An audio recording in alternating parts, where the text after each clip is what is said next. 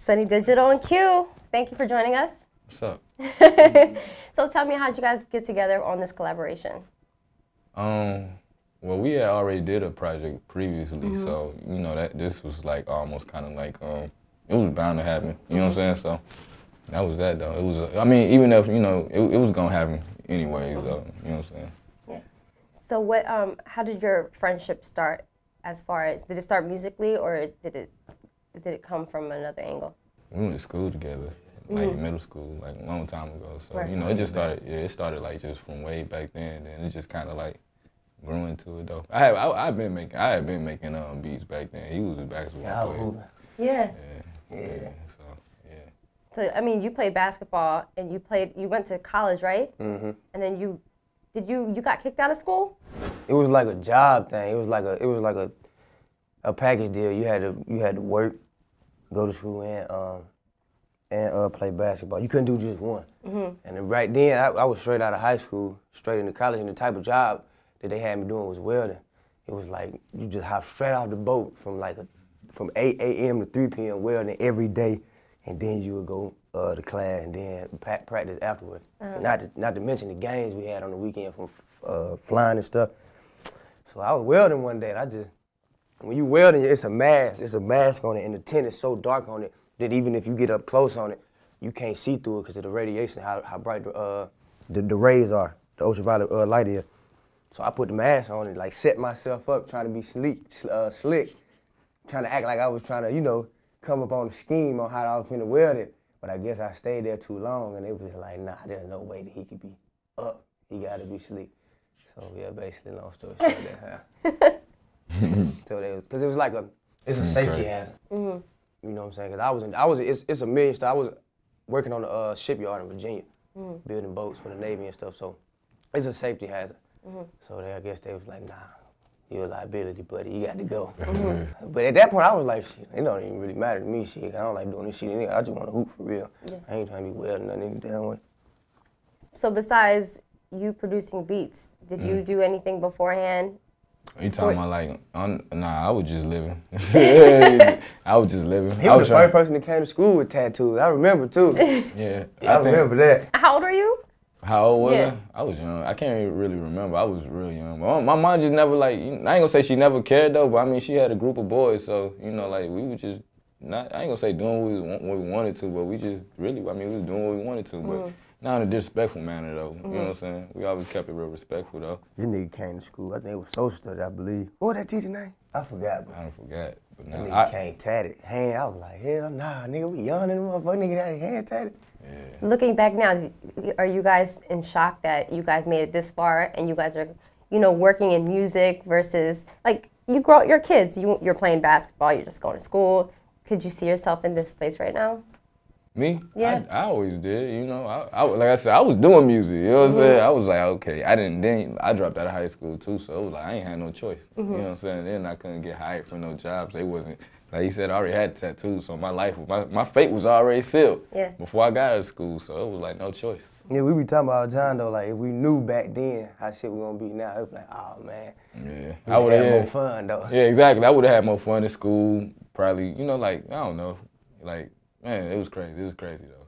Yeah. So out of the songs that you guys worked on, which one is your favorite so far? Um, that we be on is pretty hard. That's that's like that's the one we we did the video for that one yesterday. Mm-hmm. Yeah, but it ain't out yet though. Mm-hmm. When it do come out. What, why is that your favorite?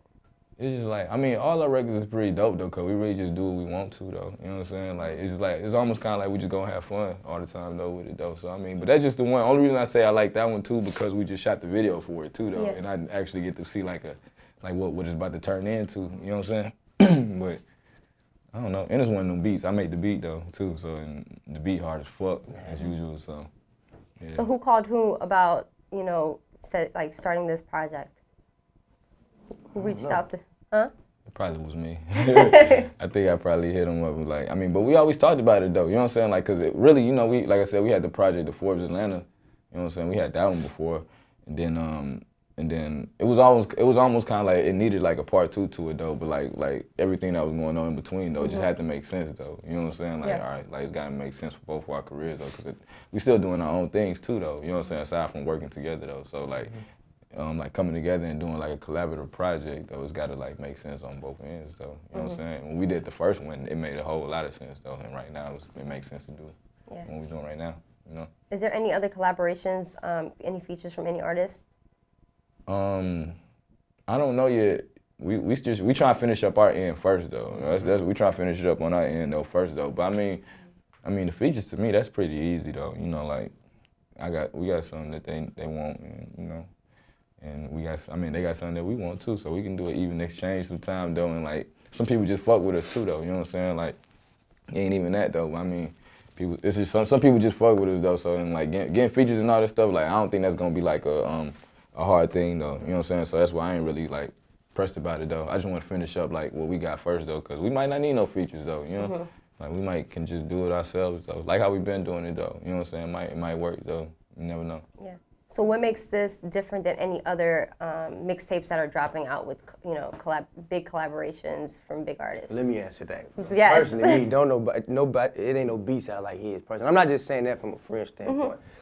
I've been saying this from day one. Before I even had, you know, started, excuse me, doing music, it ain't nobody to make beats like that, man. So it's like, it ain't gonna sound like nothing. Period. Just off of just that alone, it's like, you know what I'm saying. And I'm I'm very big on listening to what's out and trying to go opposite of what's out, like just from styles, just sound. You know what I'm saying? It's just how people rap and everything. So that factor plus the fact that, to me personally, it ain't don't nobody make beats like this, man. This you know what I'm saying. There's producers out this hard, and I'm fans of other producers too. But it's just like, I don't know, man. I don't know. I really don't. This nigga beats be crazy. Yeah, and then it's not just like you know it's like it ain't like like this is just my friend, so it's like you know like like I don't look at it as like work. We just just doing what we doing, so it's like a lot more fun though. You know like it ain't like no it ain't no pressure on it though. You know what I'm saying? Like I don't know like.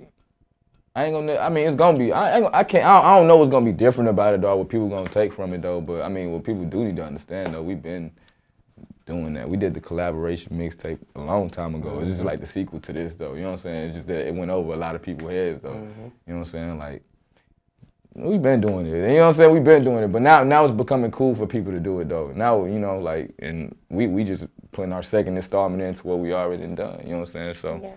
you know, like we just gonna continue doing us. You know what I'm saying? And, mm-hmm. and like he said though, like I know my beats is pretty crazy right now, and I know like right now a lot of people want to hear them too. You know what I'm saying? So, you know what I'm saying? I- you don't like what I'm saying, you gonna you gonna at least like the damn beat. You gonna yeah, listen. it's, it's, gonna, gonna, be, make you it's gonna, because of the that, beat. that- that's what I can guarantee. It's gonna be a 50% win every time. Like you're gonna at least like the beat though. I promise you that though. Yeah. You know what I'm saying? I'm not saying that his lyrics are whack though, but I am that confident in them beats though too though. Mm-hmm. And I'm here too, like kind of like if, if if it's whack, I'm gonna tell him it's whack. You know what I'm saying? So you know what I'm saying? We we ain't got like that. We ain't got like that little that little boundary between us and stuff that we can't cross. You know what I'm saying? I can like really tell him like, hey yo, that shit whack as fuck. I don't fuck with that. Mm-hmm. You know what I'm saying? It won't be no no feelings or nothing like that though. You know what I'm saying? Yeah. And, you know that that makes the work process in the music a whole lot better too when you can kind of keep it real between each other. You know what I'm saying? Like keep it real as possible. You know what I'm saying? Yeah. How important is loyalty right now in, in rap for you guys? Very important. you know what I'm saying? You stick with your right team, you gonna win. You know what I'm mm-hmm. saying? Like this shit is just inevitable. Just look at everybody else's team. Everybody else who stuck together, you know what I'm saying? And like when when, when you stick together, it just you know, it just work, you know what I'm saying? It work better when there's more than one person working. You know what I'm saying?